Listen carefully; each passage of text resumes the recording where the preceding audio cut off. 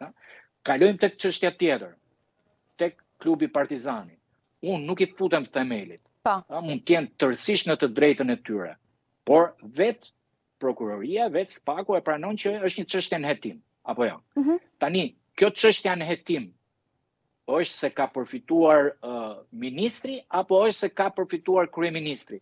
Pse i thërret gjithë këta zyrtarë nga shefat e klubeve të futbollit, edhe të gjithë ministrat dhe njeriu në cilën dyshohet që ka përfituar.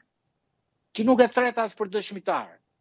Tani, kjo mua, mua si profesionist nuk më funksionon në asnjë rast, ë? Sepse Ka një proporcionalitet të rëndësisë. Nuk tha, nuk tha që nuk do thërritet në të ardhmen. Tha është çështje në hetim dhe çështja vazhdon. Tani ti je profesionist, unë e di si e lexon dhe si e sheh ti. Po pra. Po unë po them po pra, përgjigja që dha ishte evazive. Çështja, çështja vazhdon mhm. derisa të dalë jashtë afatit ligjor.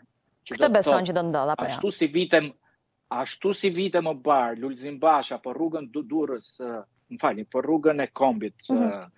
uh, Milot uh, Morinë, pra që bashkonte me Kosovën, uh, ndaj një akuze për cilën uh, Kontrolli i Lartë i Shtetit dyshonte për 235 milion euro, u hetua tre vjet dhe u qua një atë pasi kishte kaluar afatin procedural.